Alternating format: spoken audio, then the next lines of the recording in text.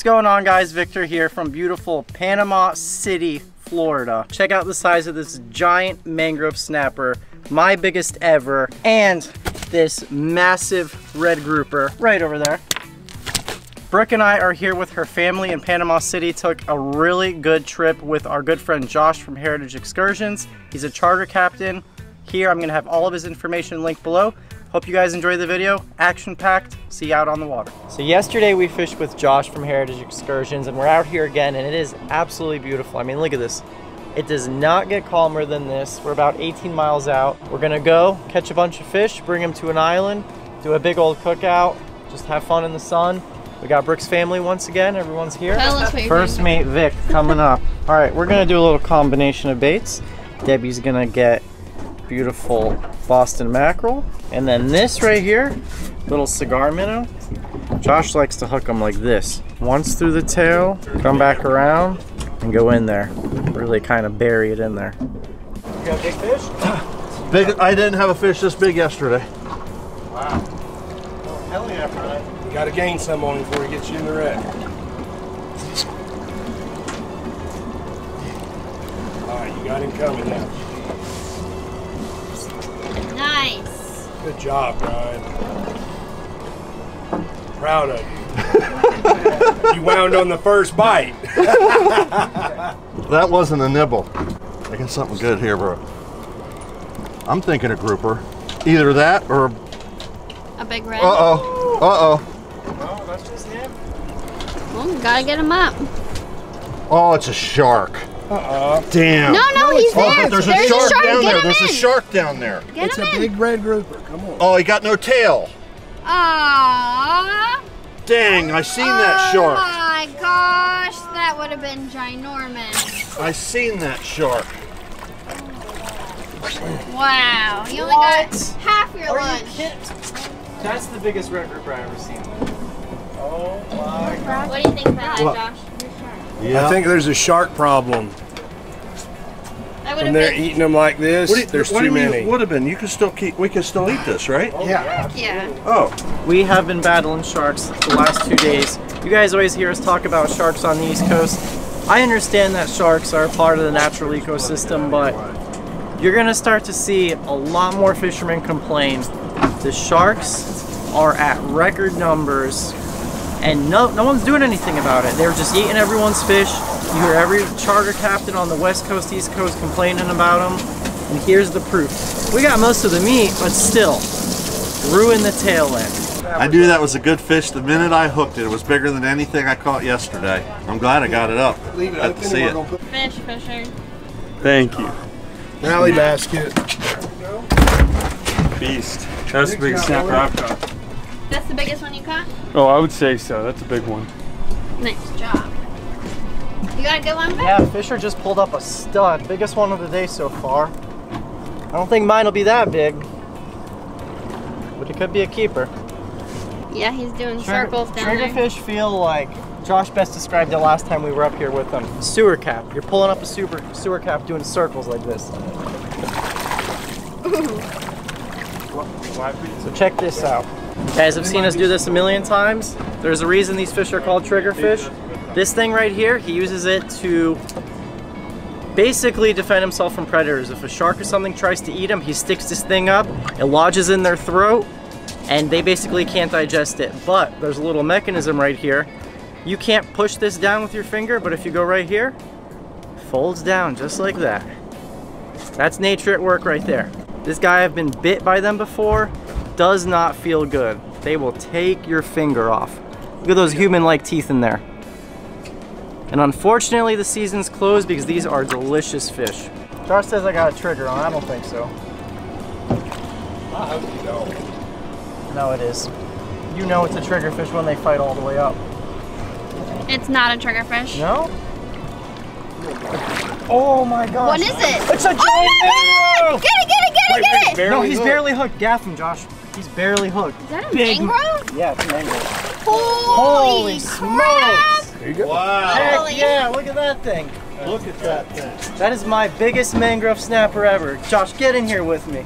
You guys want fish? This guy is the man. Look at that mangrove. Brian just caught his biggest ever red grouper. Stud mangrove snapper. That's a, my first double digit mangrove ever. Oh yeah. It's a nice fish. Another mangrove. Another nice one. Well, he was barely hooked too. Nice one, Jed. Good job, Jed. Mangrove Brothers. Lauren, get it back, Look go at back down. Stud mangrove snapper. That thing will go over 10 pounds all day. This is one fish you do not want to stick your finger in its mouth. They got incredible jaw pressure. I'm very confident with fishing one of these baits. Look at that thing. Little Boston mackerel. I mean, you don't you don't reel on a vibration. Berg, look at this. See that? This is why I like that bait. That all that vibration. You guys see that in the tip? All those fish down there, whatever's around is gonna see that and feel that. So you don't have to go out 50, 60 miles to get these quality fish. I mean, look at this. Big mangrove snapper. Big red grouper. Look at that thing. Giant. It's the biggest red grouper I've ever tripped. You got a shark? She got Oh, oh Yeah. just Two is two sharks down there. Oh Look at oh the my size of that gosh. fish. No. That was a nice snapper, Dev. Good job all the way Look to at the that end. perfect bite mark though. You got your camera on? Yeah. Watch this. watch Watch. this. He's gonna eat it. Oh my gosh.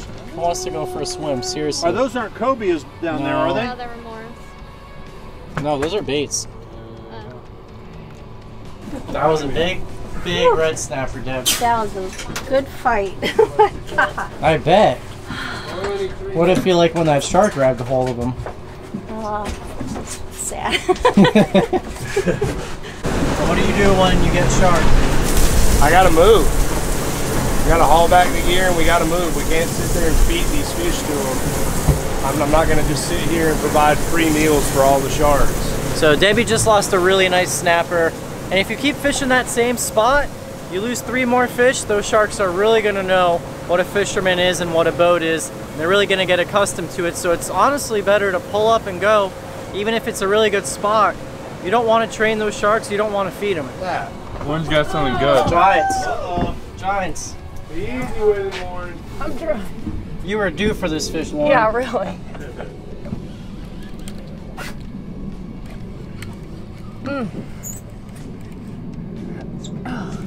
Your luck's about to change. I hope so. This morning's been rough so far. You got a grouper. Really? Yep. She's got a um a gag grouper. Josh. Stop, stop. I don't know if it's league. Yeah, We're gonna measure him though. That's a hard fighting fish right there. Yeah. You ever caught one of those, Vic?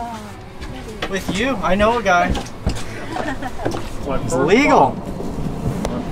He's a keeper. Nice job, Lauren. First keeper gag. Slack it off and see if he'll swim out. That was our first keeper gag of the trip. It's funny, last time we fished with Josh, it was mainly gags and very few red grouper. This trip, it's been all, I mean, all trophy, once in a lifetime red grouper, and that was the first keeper gag. And a lot of big red snapper. Get some. Pick up, pick up. There you go. Yeah, another gag. That's my girl. Oh, that fish is immobile. Hmm. Catch that fish. Big. Oh god. It's gotta be. Mm. Ah, come on.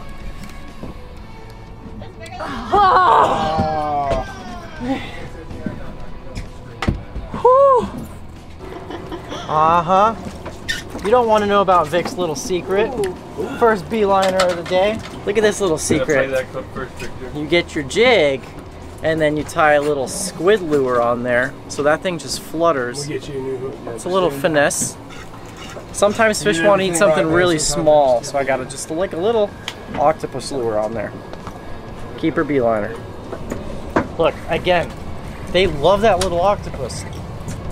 Did you even I, hit no, bottom? I, yeah, I hit bottom and never even jigged. I think it's just that motion of that little squid skirt is going down there. Josh, I think I found you a new technique to use for Yeah? these things. Save money on bait. Look at that, same thing. Never ate the jig, Just ate that little octopus. You gotta think in the wild, there's a bunch of little octopus down there, little squids. Nice one, Dad. Good fish. Last snapper of the day. That's our limit. We're here at Shell Island Sandbar. So one thing that Josh does is not only does he slay, and he'll take you guys offshore. And like yesterday, we filled up the boat.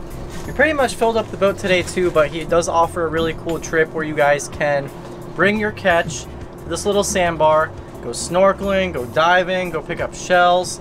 And the best part is you get to enjoy the freshest fish you'll ever have. I'm cooking it up today, but Josh can cook it up for you guys if you book a trip with him. Ain't that right? I'm not gonna lie, Vic's a better cook, but I can grill a fish pretty good. And last year, Brookie made ceviche and I made fish tacos on the grill. This year, we're doing the opposite. I'm making the ceviche and she's making the tacos. So the first thing we're doing is getting our fish prepped. That way we could get it marinating in our lime juice. Mean, look at that. It does not get fresher. Just gorgeous red snapper. Right over that rib cage. Other side of the backbone.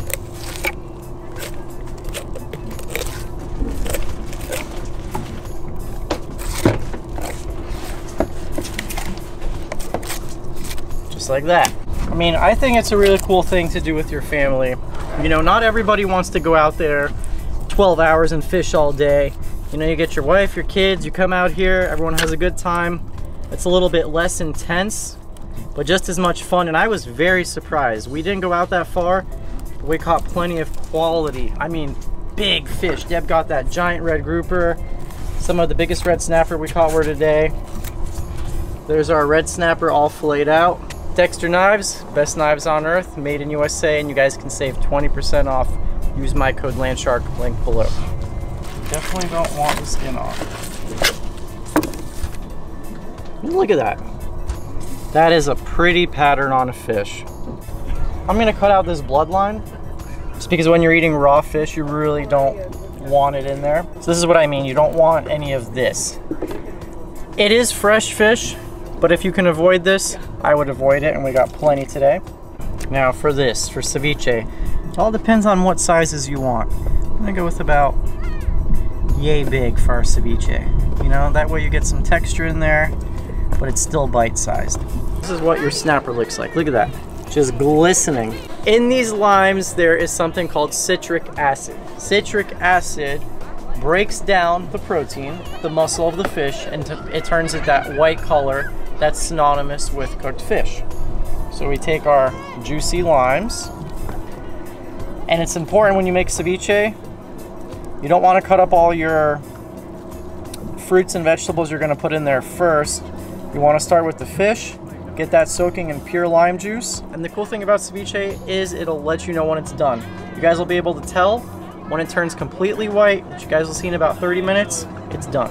Going to be a very citrus forward ceviche. We got some chopped up blood orange, some mandarin, beautiful Roma tomatoes, and then the grapefruit. The grapefruit's gonna give it a nice tanginess and another level of acidity aside from the lime juice. And you guys see, this is what the fish looks like when it's cooked, essentially. You guys saw it went from being that real raw color to just completely white. Now, we toss, we put this in here, and I also have one bunch of cilantro chop. We're also gonna give it a little bit of heat. We just got some crystal. Crystal is not a very hot, hot sauce. So we're just gonna go in here. So you guys are gonna get that heat from the crystal, all that tanginess from all that citrus and the grapefruit and the lime juice. And it's just gonna be a super refreshing thing to eat. Great as an appetizer or a fisherman's dessert, as you could call it. All right, so Brookie just made some delicious fish tacos. Nothing like eating some nice, hot, fresh fish that came from about 20 miles that way just a few hours ago. And then now we got our ceviche all made up. Just super vibrant and fresh. I'm excited, and I'm excited for everyone to try it. Something different today.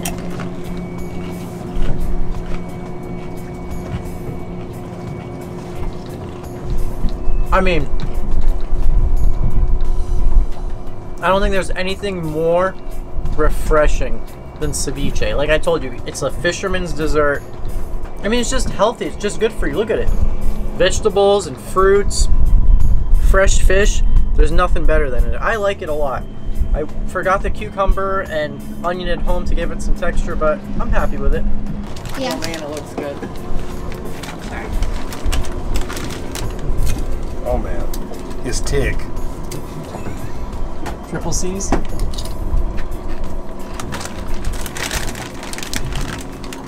It's amazing. That's really good. Hmm. Oh man.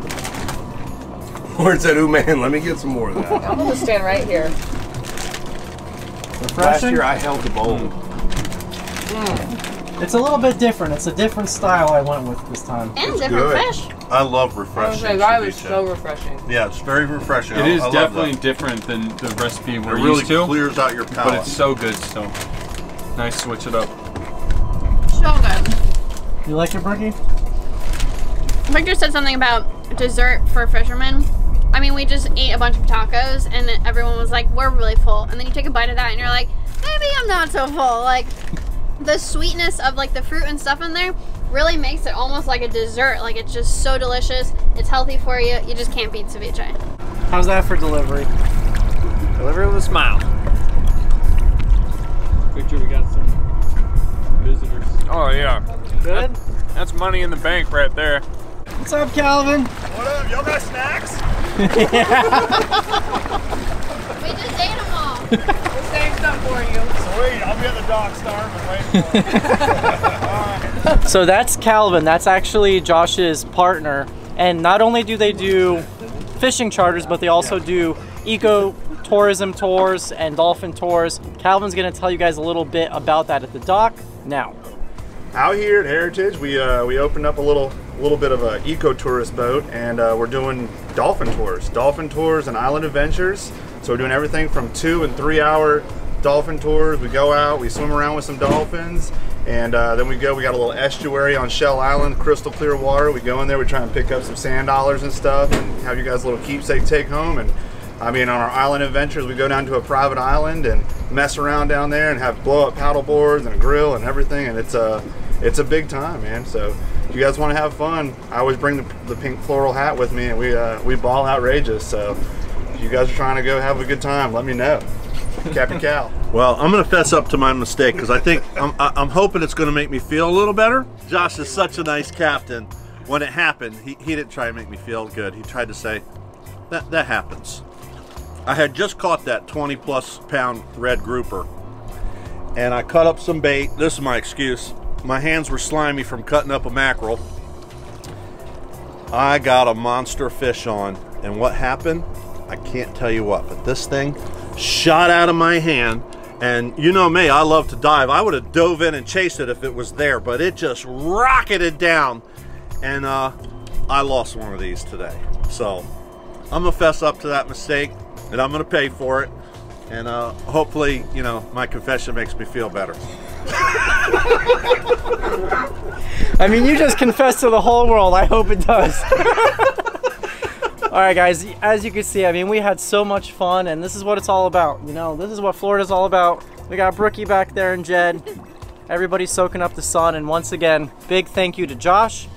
None of it would be possible without him and Lauren, because you guys know, behind every good man, there's a good woman, right? Good boss lady. Thank you, Josh. Yes, sir. Once again, I'll have all of his stuff linked below. And as always, thank you guys so much for watching. Without you, none of this would be possible. Catch you in the next one.